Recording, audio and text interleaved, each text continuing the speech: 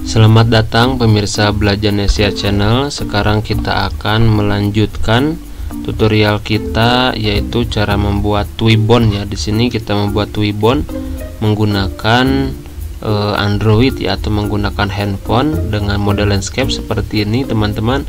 Nanti kita akan bagikan filenya ada di durasi ke 3 menit silahkan dicek kalau sudah nanti bisa teman-teman di download langsung linknya ada di sana caranya. Sekarang kita langsung pada tutorialnya. Oke teman-teman di sini file yang kita gunakan yaitu yaitu adalah e, aplikasi maksud saya yaitu aplikasi PixArt ya. Ini adalah aplikasi Android. Teman-teman bisa diakses menggunakan aplikasi Androidnya di handphone masing-masing. Bisa dilihat di sini error ya punya saya karena tidak tersedia jaringan internet Oke teman-teman kalau sudah kita klik dulu di sini di tanda tombol ya bukan diklik berarti di tap ya seperti itu kalau di Android. Teman-teman di sini kita bisa menggunakan banyak foto. Ini adalah frame-frame yang sudah kita bagikan ya di sini. Frame yang akan kita bagikan yaitu adalah frame eh, ada empat jenis ya. Pertama ini adalah yang pertama terus uh, ini adalah yang kedua berarti ya. Ini yang kedua sama ini yang kedua. Selanjutnya ada yang ketiga dan ini adalah yang keempat. Dari setiap empat frame ini teman-teman nanti ada variasinya yaitu ada tiga variasi ya seperti ini. Satu dua tiga yang di atas. Ini juga satu dua tiga yang di atas. Itu untuk twibbonnya teman-teman nanti bisa digunakan saja. Tapi nanti juga nanti kita akan eh, presentasikan cara mengubah warnanya juga. Oke kita coba dulu. Kita back dulu teman-teman. Jangan dulu ke foto kita pilih dulu ke bagian bawah. Ya di sini ada color background. Supaya kita lebih mudah untuk mengelolanya kita pilih saja color background. Silahkan di tab teman-teman. Kalau sudah setelah itu bagian ini ini adalah backgroundnya yang kosong atau yang transparan setelah itu kita pilih di bagian add ya. Kita scroll ke bawah.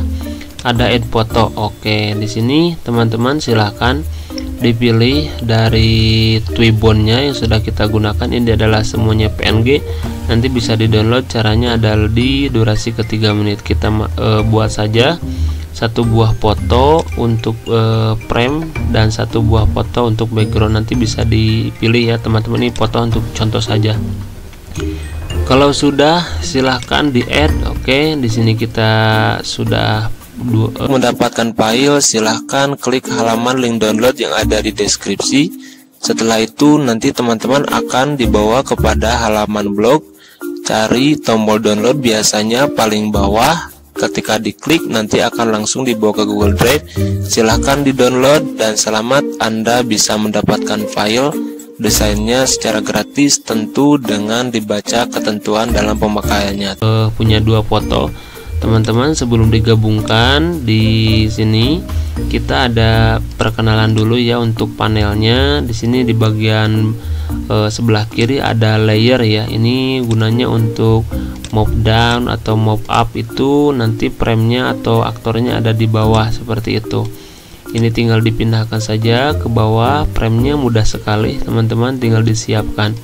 Oke kalau sudah nanti seperti ini kita tinggalkan dulu selanjutnya pada bagian frame ya di sini pada bagian frame teman-teman juga bisa merubah ya. Pertama bisa merubah gambarnya atau bisa merubah framenya seperti itu teman-teman. Atau teman-teman juga bisa merubah warnanya. Walaupun di sini kita sudah sediakan ya dari setiap frame itu ada tiga warna ya. Ini yang pertama kedua dan ketiga. Begitupun untuk frame yang lain ini yang pertama yang kedua dan yang ketiga seperti itu. Nanti teman-teman bisa lebih mudah.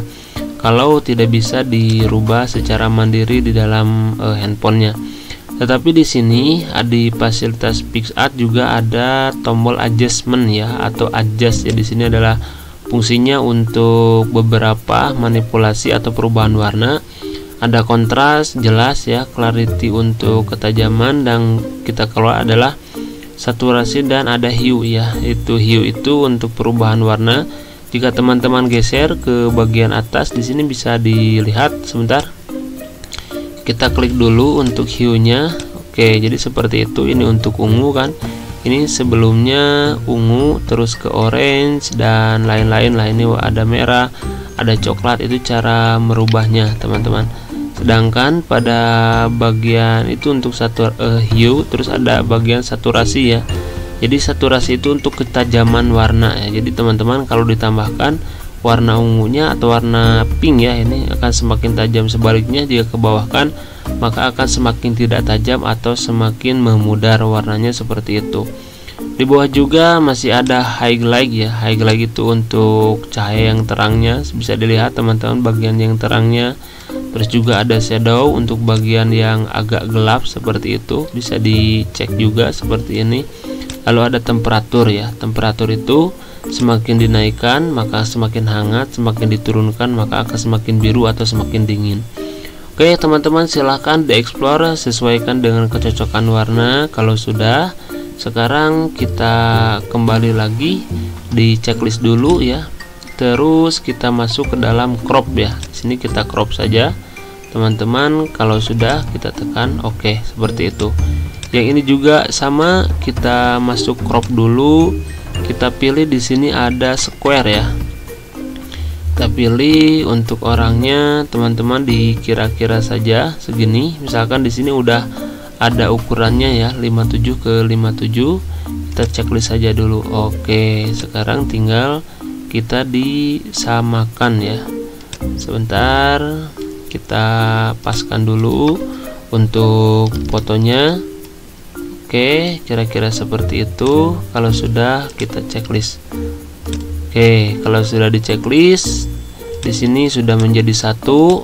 Eh, kita tinggal di crop ya. Di sini ada crop bagian atas. Oke, pada tools, terus ada crop. Tinggal kita ambil square ya, karena frame yang akan kita bagikan adalah framenya square atau kotak seperti ini. Oke teman-teman ini tinggal dipaskan saja untuk framenya seperti itu. Tinggal kita checklist saja. Oke inilah uh, Twibon ya yang kita bagikan atau yang kita buat dari belajar Nesia channel menggunakan Android. Sebenarnya lebih di sini lebih ke penggunaan ya, ya tapi masih dalam kategori membuat juga tapi menggunakan PixArt prime sudah kita bagikan teman-teman silahkan di download linknya ada di deskripsi. Mudah-mudahan bermanfaat silahkan semuanya ada sekitar 12 frame dengan variasi warna dan variasi bentuk. Terima kasih sudah menonton jangan lupa di subscribe salam belajar Nesia channel